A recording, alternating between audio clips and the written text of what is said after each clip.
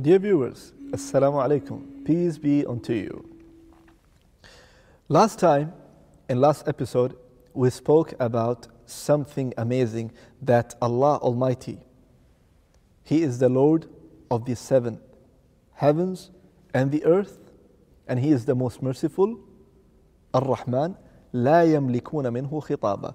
The people, the whole human being, from Adam, peace be upon him, until the last person will come on the day of judgment, all these millions and trillions of people will stay in front of Allah. لا يملكون منه خطابا. They will not have permission or they will not be able to talk in front of Allah subhanahu wa ta'ala, Allah Almighty. Then Allah Almighty said what? يوم يقوم الروح والملائكة صفا لا يتكلمون on that day, not only the human being, even the angels, even the spirit, even the angel Gabriel, even all these millions and zillions and trillions of angels will be there in front of Allah Almighty, the Creator, in front of their Creator. They're all standing there. لا يتكلمون. They will not talk. إلا من أذن له الرحمن except those who Allah Almighty will grant them the permission to talk. إلا من أذن له الرحمن وقال صوابا. That only the most merciful Allah Almighty, He will give the permission to certain people, to certain angel, to certain category of people, and when they will say, they will say sawaba. They will say the truth. So even though in this world they used to have a control over their tongue, that maybe they will lie to this person, they say something bad to this person, they will deny this person, or they will deny the truth, they will do whatever they want to do because they are controlling their tongue. But on the day of judgment, in front of Allah Almighty, the tongue will obey only the Creator. It will only feel the Creator. And when Allah Almighty, the Creator, will give this person, a specific person, a permission to talk, the tongue will say the truth. That's it. So whatever the person done in this world, he will say exactly what he have done. And then Allah Almighty said what? ذَلِكَ الْيَوْمُ الْحَقِّ That day is the day of truth. And if you see here, what Allah Almighty says, ذَلِكَ الْيَوْمُ That day. So the day didn't come. So this is the message for me, for you, for Muslims, for non-Muslims, for those who are denying the day of judgment, for those who are denying the oneness of Allah, for those who are denying the messenger of Allah, those who are denying the creator and the favors of the creator and everything. Allah Almighty saying, ذَلِكَ الْيَوْمُ الْحَقِّ That day is the day of truth. فَمَنْ شَاءَ اتَّخَذَ إِلَى رَبِّهِ ma'aba. So whoever wishes, so whoever wills, you can come back to the track and you can go to Allah Almighty. Because Allah Almighty, He's always welcoming you. Because Allah Almighty, the Creator, He always wants you. It doesn't matter if you are sinner. It doesn't matter if you did bad. It doesn't matter if whatsoever you did in your life. Allah Almighty, He is the most merciful. If you remember at the beginning what we said, Bismillah ar-Rahman ar-Rahim. In the name of Allah, the most merciful, the most compassionate. Whatever you do, we all are human beings, we all make sins.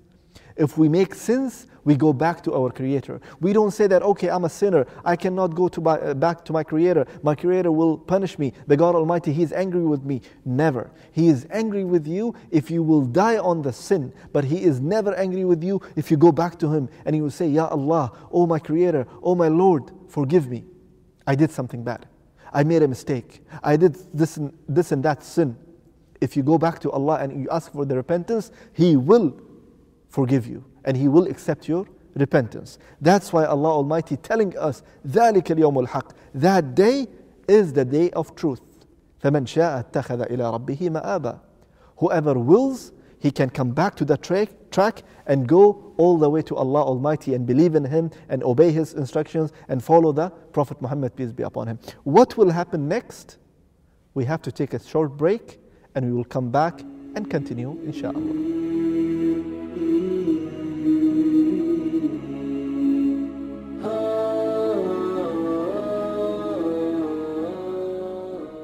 Welcome, dear viewers. We just spoke before the break about wonderful verse from the Quran. And this is the second last verse from this chapter called chapter An-Naba, chapter of news in the part of Amma. What Allah Almighty said, and I just mentioned before the break, That day is the day of truth.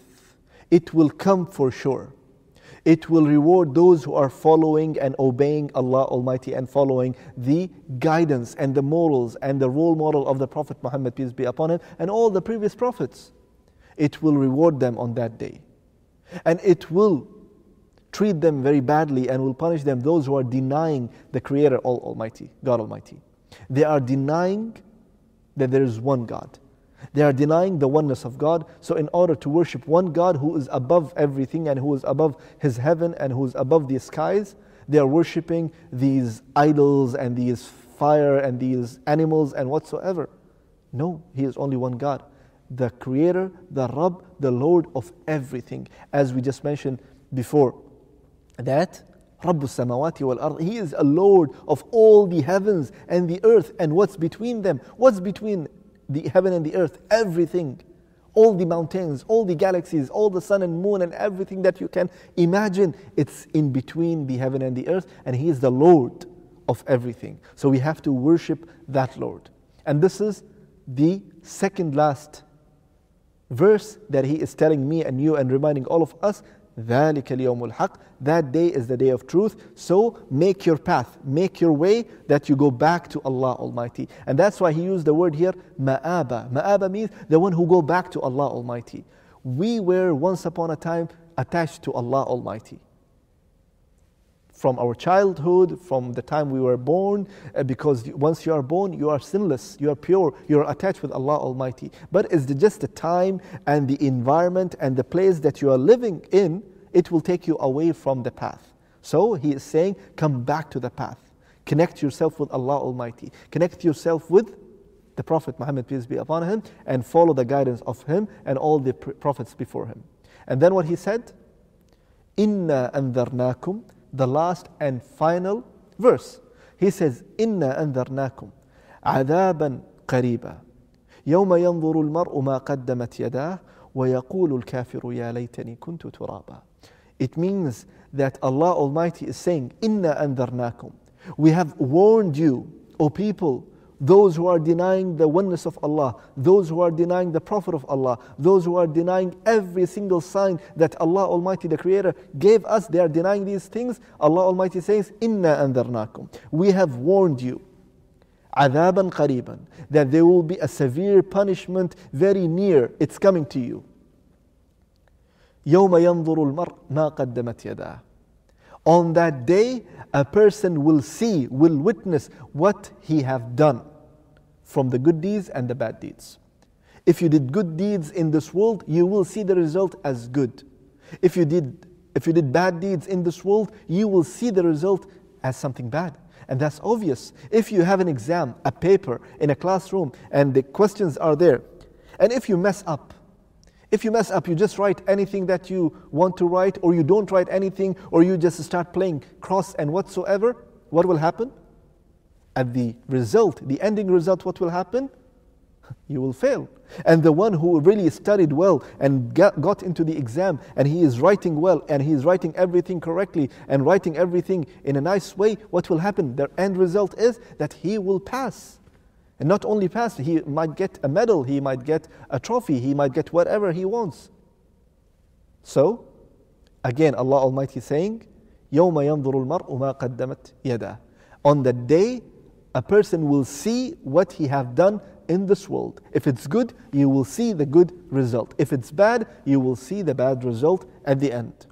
And Allah Almighty said, وَيَقُولُ الْكَافِرُ يَا لَيْتَنِي كُنْتُ تُرَابًا the disbeliever will say, on that day when he will see all these things happening around him. That day of judgment is truth these agnostics and atheists and these people who are denying the oneness of Allah and that He is the creator, He created everything and He is there, and this world will end and we will come back to this world. And once they will see all these things, what they will say?